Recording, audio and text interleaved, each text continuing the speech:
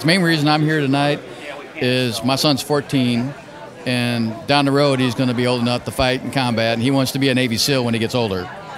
So if I got to send him to battle and somebody's, you know, possibly he get killed or something, I'd rather it be somebody I trust, and Trump and Pence is the ones I want in charge of that, not Hillary Clinton.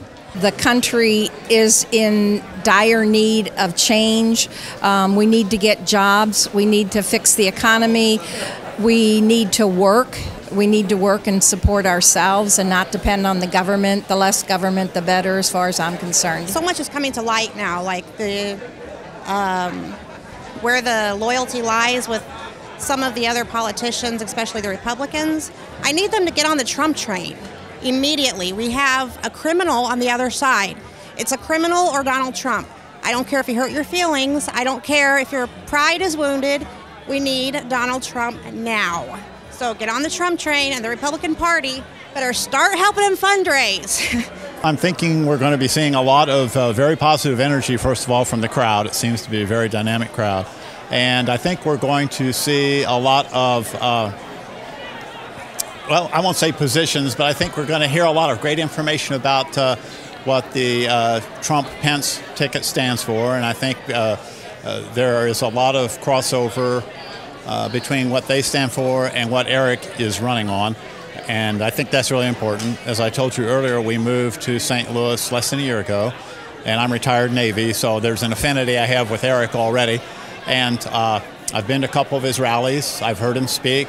I've spoken with him uh, personally. I think he is uh, what this state needs, and quite honestly, I think it's what the country needs.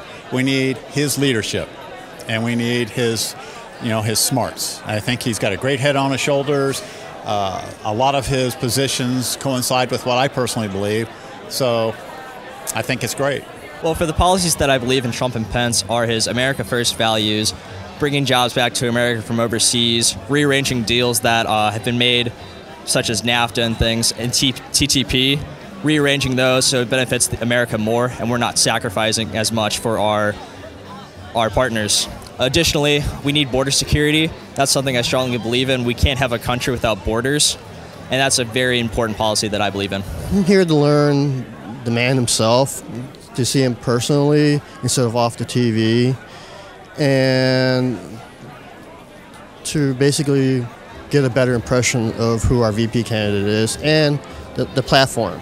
Well, for Mike Pence, he has been a governor for um, Indiana, and he passed a bill for um, anti-LGBT, which you can refuse services for LGBT people because of their religious belief. Now, for Donald Trump, he's an entrepreneur, and he's saying the most awful things about women, um, race, gender. Um, special disabilities, things like that. And I think he's not fit, both of them are not fit for the presidency and the White House.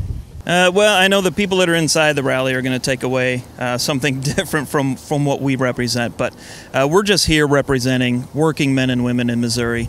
Um, right to work passed in Indiana and has not proven to to bring anything prosperous.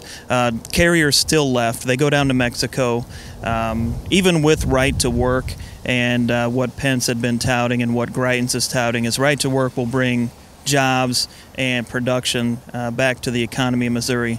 Uh, carriers still left and went to Mexico where they pay pennies on the dollar. They pay less than half of the uh, federal minimum wage. So, right to work isn't going to even the playing field for anyone.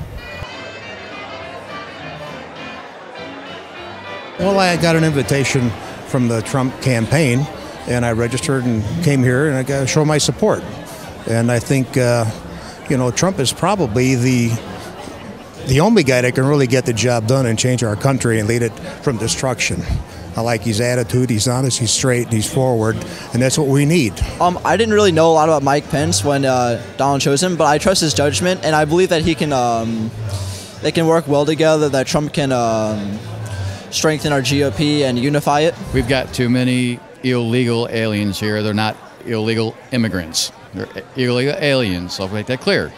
And I think that it needs to be dealt with um, in a uh, diplomatic manners much as possible, but I think it needs to be dealt with, and it hasn't been on both sides. And I think Trump and Pence are the ones to get this by the horns and do what needs to be done. Anything else you'd like to add today? Vote Trump, vote Print, and uh, get these guys in office, and let's get this country back on track where it needs to be.